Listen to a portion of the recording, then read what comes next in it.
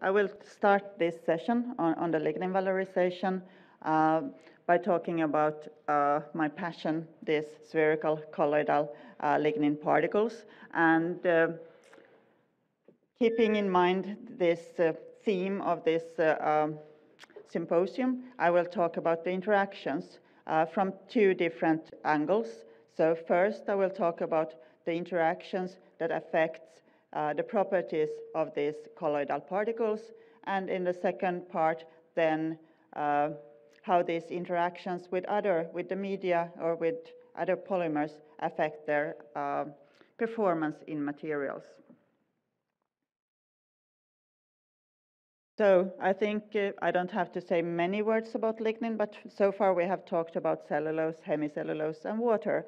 So uh, lignin is uh, is a really cool material, and it's a, it's a side product, so there's a lot of it available, and it's of course a renewable carbon source. Uh, in in the wood, in the tree, it actually performs excellently. It's a binder. It can also like uh, uh, protect the cellulose from from water and also from some um, uh, microbial attacks. But then when you uh, take it out from the, it's uh, performing less well. And there's been a lot of uh, research how, how to make it perform better. So why is lignin valorization so difficult? Uh, well, first of all, um, when, you talk, when I talked with industrial uh, representatives, they always say that they want to have something uh, that is reproducible and always looks the same, always have the same molecular weight, always have the same chemistry and, and the same structure. And well, this is not uh, something uh, typical for lignin. Lignin has different uh, structure uh, depending on from what, uh, what is the biological source. then when you actually take it as a side product from, from the biorefiner because I think that that is the great thing that we can use the cellulose for other stuff and then we take something that is uh, so far underutilized and, and make great materials out of that. But this, since the pro processes are developed to get the best out of the cellulose fibers, um, the lignin is not always that great. And it's very uh, heterogeneous and it's uh, can be difficult to dissolve or disperse. It can even smell uh, quite badly. And I, I, would say actually one other thing why lignin hasn't been used so much is due to its excellent uh, energy. Uh, so it's, it has been better to just uh, burn it for energy and then the, the, the mills can actually be uh, self-sufficient and they can even give energy to the, to the community around them. But I think um, this is not sustainable how we think about it today. So I would like to actually have a positive handprint in this sense that we would uh, not use lignin for burning, but we would use a more sustainable energy source, and then we can use lignin in materials and increasing that uh, uh, carbon cycle or have a longer, longer carbon cycle for, for the lignin. And one way of doing this is, of course, to add, uh, make added value materials from the lignin. And since I find it so complicated, the, the molecule and the structure, I try to uh, simplify it. So, so we, we work with these colloidal lignin particles, and uh, I will talk a bit about the, how they are made and especially about their properties. And making these uh, colloidal lignin particles or lignin nanoparticles, whatever you want to call them, uh, they actually uh, have many advantages over the crude lignin in many applications. So they are excellent stabilizers in Pickering emulsions. Uh, you can make uh, robust uh, coatings that are can protect the the material both from, from sunlight and from, from uh, water. I, I hope you saw uh, Alexander Henn's uh, poster yesterday. He had some uh, examples of how, how these colloidal lignin particles can be used both in coatings and adhesives. And we can also utilize this spherical uh, particle shape for phase changing materials and drug, drug carriers. So just quickly how we make the particles. There are a bit different ways uh, how you can uh, prepare these uh, uh, nanoparticles. We do it so that we dissolve the lignin in an aqueous uh, acetone or aqueous uh, THF solvent mixture. Then you just pour this dissolved lignin into water and then particles are spontaneously forming. And these particles are spherical. They have some anionic charge on the surface. So then you get, how do I get rid of that one? Okay. Um, okay, sorry. Um, yes, so, so due to this anionic charge, they, they are uh, stable in the dis aqueous dispersion for many, many, many months. And uh, this makes them easier to use. They are easy to disperse now, and uh, they are a bit more uh, reproducible, so you always get these spheres. You maybe not need to uh, bother so much about the exact chemistry there. Uh, you usually have, uh, have some anionic charge on the surface and hydroxyl groups on the surface. And this is something um, a process that is scalable and uh, we have commercialization ongoing. Um, but of course you want to tune the particles. Uh, so one easy way of tuning the, the, the size of the particles is uh, by the, choosing the solvent system. So uh, we have used this aqueous acetone and aqueous THF, and we noticed that uh, uh, we get smaller particles if we use aqueous acetone as the solvent before uh, precipitating uh, the particles in, in water, and then with the THF. But we were thinking, like, why, why is this? Uh, so we wanted to look into this with, in more detail. And I would say this is all about the interactions in, in the system. So we can, but of course, it's not a simple, it's just not one type of interaction. We have the interaction between the organic solvent and lignin, interaction between water and lignin, we have interaction between lignin molecules, and of course the interactions between the solvents. So all these interactions are governing the particle formation. And um, there are like um, literature saying also that the molecular weight will is affecting. So if you have higher molecular weight, you get smaller particles. There are also literature on, on the, that the chemistry of the lignin affects. And of course, this is also due to the interactions in a way. If you have a higher molecular weight, you probably have a bit lower uh, solubility, and then you get uh, smaller particles. And the same thing that uh, if you have more hydrophilicity, the solubility be is better, and probably you get a bit larger particles. So to study, to understand this a bit better, um, I contacted my colleague Maria Sammalkorpi, and she agreed to do some molecular dynamics simulation uh, to provide some insight into these interactions between lignin and the solvents, and both now uh, between the lignin and the solvent and the antisolvent. So um, we looked at both kind of the hydrophilic interactions and the hydrophobic uh, interactions. So um, you all know that water is the best uh, hydrogen bonding agent. Uh, it's now missing actually from here, uh, but if you read the paper, you see that uh, lignin and water has the highest uh, hydrogen bonding.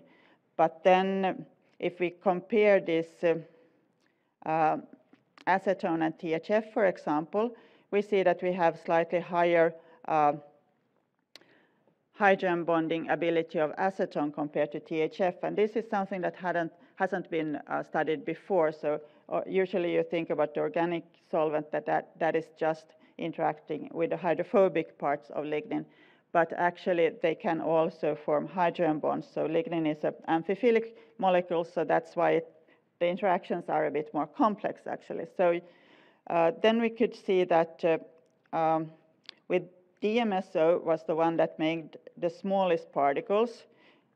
But I would just warn you, before you run away to your uh, lab and start using DMSO as your like new solvent to make these smaller particles, uh, they are not stable. I don't know exactly why, but uh, I would still say that DMSO is not uh, the way to go. I, I, I, think that you get much nicer, stable, um, more dense particles with acetone or THF system. Uh, this dioxane what, was another that uh, didn't work very well at all, made a bit larger particles, uh, but also less stable. But this, we, we used these different solvents to kind of really understand how the uh, properties of the solvent affects the interactions. And if we still uh, look then at the hydrophobic interactions, so what you, let's not go into the details of, of the molecular dynamics simulations, but what you can see, how you should read this is that the earlier, uh, the smallest the radius here is uh, for this bump, uh, the more, the stronger the hydrophobic interaction between the carbon in the solvent and this uh, benzene rings uh, in, in the lignin arm. So there you can see that DMSO has the strongest hydrophobic interactions. Then next come here acetone before THF. So now you can see that um, acetone has stronger interactions uh, with, with the uh, lignin compared to, to THF system.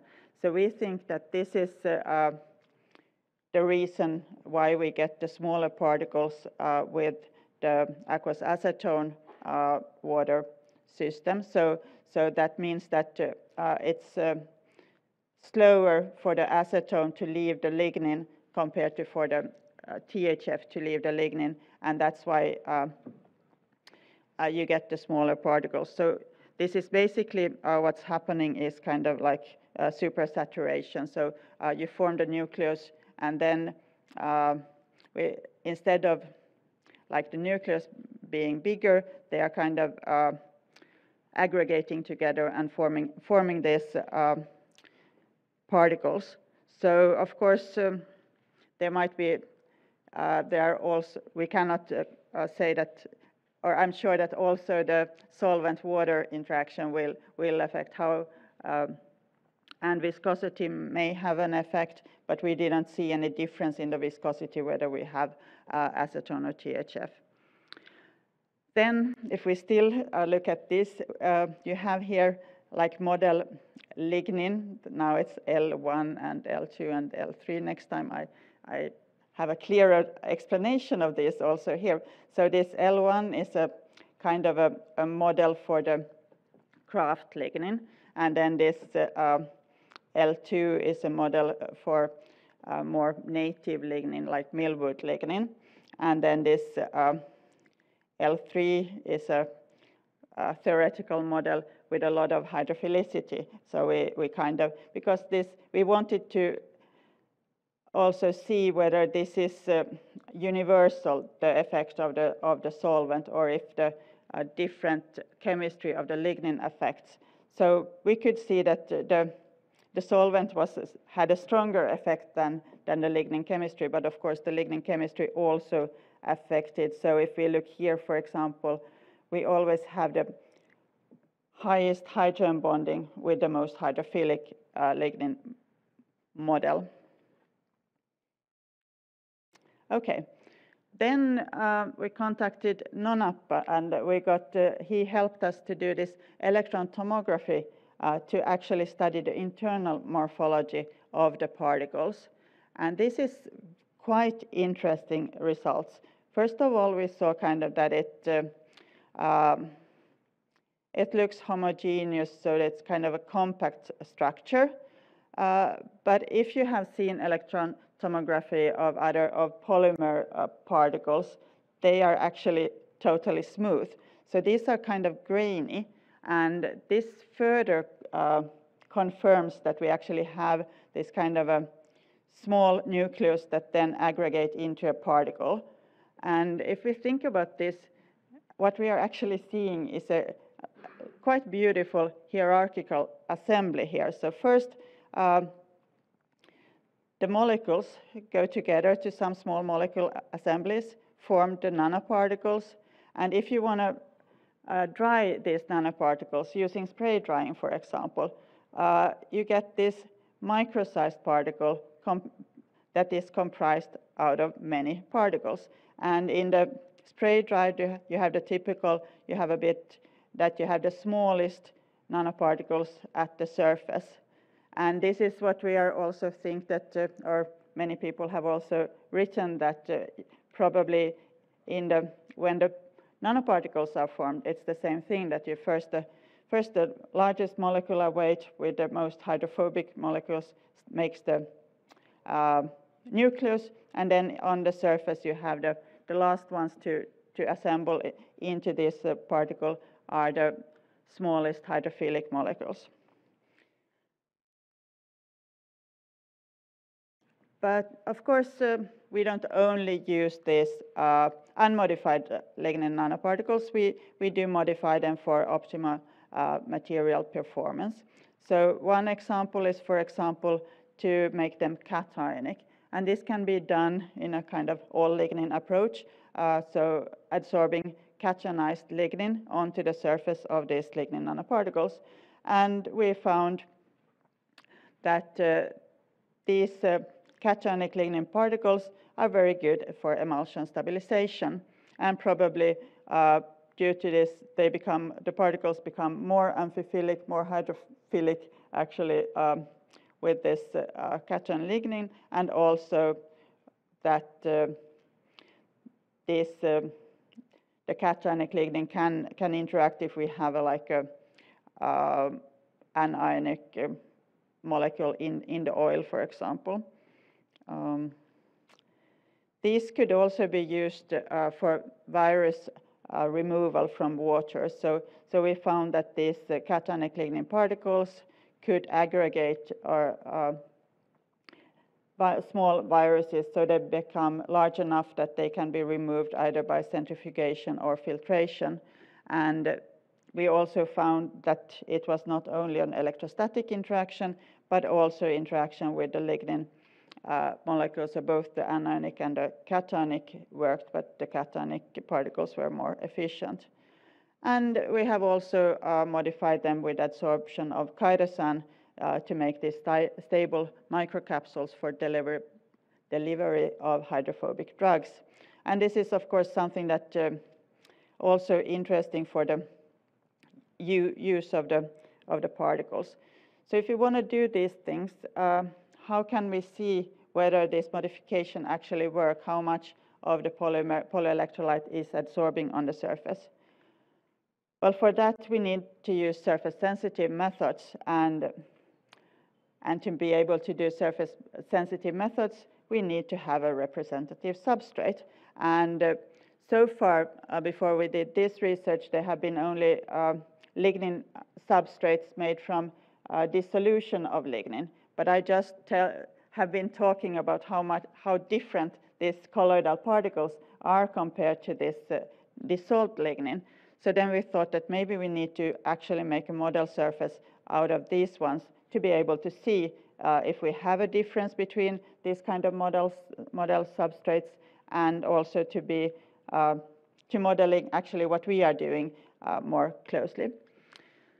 So we found that we could actually make this quite nice, well, well covered thin films uh, of of these colloidal lignin particles. So here is again, like we, we again see that there's the, the ones from the aqueous acetone are a bit smaller than the one from the THF. But this we could also be used then to see how the particle size is affecting what we are uh, seeing with the uh, quartz crystal microbalance.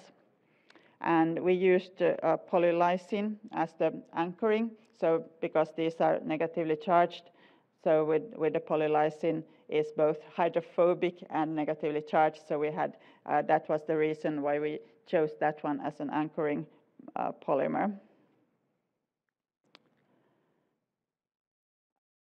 so if we study the contact angle, the wetting of, of these uh, different type of films, you can see that uh, uh, the smooth lignin substrate made from dissolved lignin has a quite high contact angle, around 60 degrees.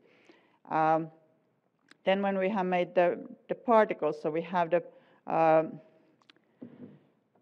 rough, rougher surface uh, covered with the, these colloidal lignin particles, and they are also then having more of the hydrophilic uh, carboxylic uh, uh, groups and also hydroxyl groups on the surface. We actually see that uh, they are quite hydrophilic.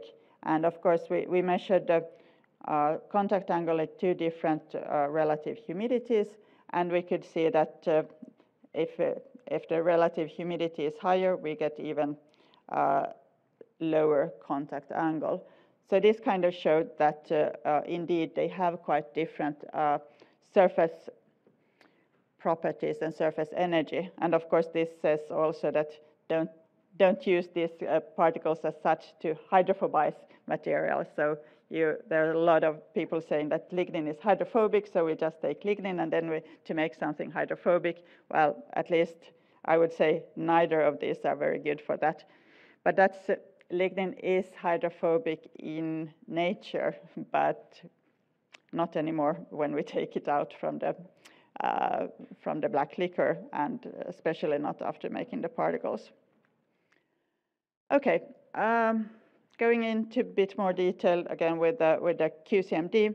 So with, uh, if you're familiar with QCMD, you know that uh, decrease in, in change in frequency means uh, adsorbed mass.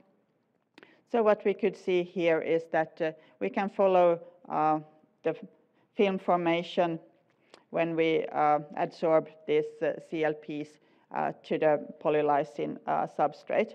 And what we can see is that uh, with the larger uh, particles, the change in mass is, is higher. So, well, they are heavier.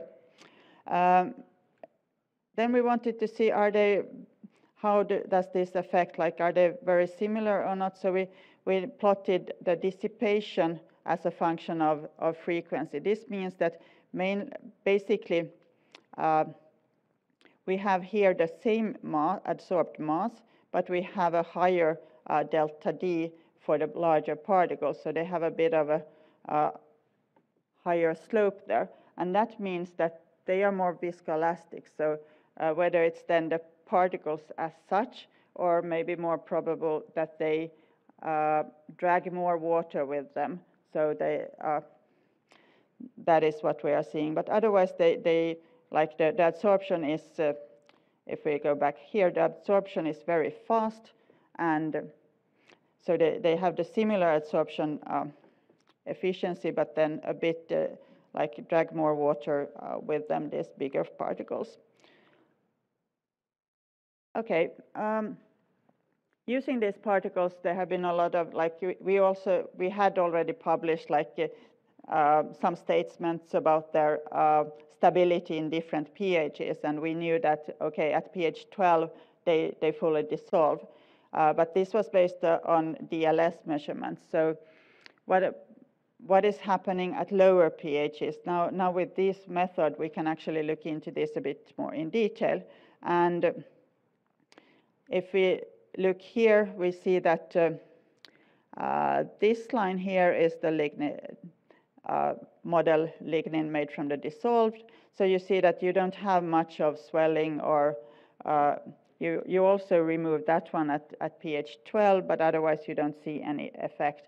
While these uh, particles, they, they, you have a decrease or increasing mass here at pH 10, and you also have an increase in, in dissipation here at the, at the pHs like before they dissolve.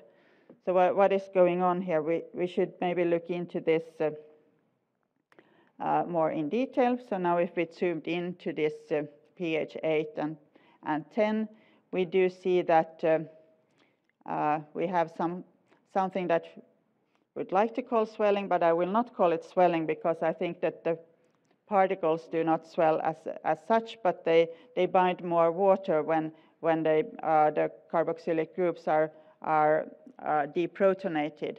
And of course, when they maybe also uh, some of the lignin at the core uh, or the surface might be dissolved so it becomes a bit more porous and, and can swell. And this we could also see then looking with the AFM. But, and we also saw an effect of the lignin substrate on the like uh, affinity of different uh, polymers. So now we saw that this cationic lignin, for example, uh, has a more of that adsorbs to the colloidal particles compared to the uh, smooth dissolved lignin. So now I will spend the last minutes uh, to also uh, to tell you a bit about what uh, one example of, of how these particles can can be used. So this uh, again, like how we can utilize the the interactions to make very strong like uh, cellulosic composite uh, films and that were also had good water, um, they were waterproof. So again, we focus on, on, the, on the interactions and make this multifunctional uh, cellulosic composites. And what we did was uh, uh, that we uh, had a hydrophobic polymer that we then uh, make an emulsion that we're stabilizing the, the polymer uh, with, with the CLPs, and then we could uh, have a nice emulsion uh, having of these three components. So we have the nanocellulose, uh, the CLPs, and, and a hydrophobic flexible polymer. And then uh, we can, when we form these films, or we form very stable emulsions to, to start with, and then we can form films. And before uh, pressing them, you can here actually see that you have both uh, CNF and uh, particles on, on this uh, emulsion droplets, and you get quite small emulsion droplets. And this uh, led to that you actually could uh, get very good both dry and, and wet strength. So actually, most specifically would be like here that you, you can see the the wet strength of this uh, of these um, composites are much better than pure CNF and also much better than uh, if you just compare combine the two, the polymer and the CNF. And this is uh, due to this that the lignin particles can can act here as a like compatibilizer uh, between the hydrophobic polymer and the nanocellulose. So this is quite often people are using cellulose fibers or cellulose nanofibers to, to strengthen polymer uh, matrices. But if you have a poor interfacial interaction there, that actually doesn't work because, uh, and that's what we could see here, that if we are using the particles, we can increase this uh, uh, and have a good, uh, good dispersion and good affinity between the CNF and the polymer. And of course, the lignin brings nice uh, properties also, so both uh, uh, antioxidant and UV protection. And to conclude, I, have shown you like that the interaction between lignin and solvent systems affects the CLP formation and also affects the resulting material performance. And these uh, CLPs could provide added value uh, to many bio-based composites. So thank you for your attention.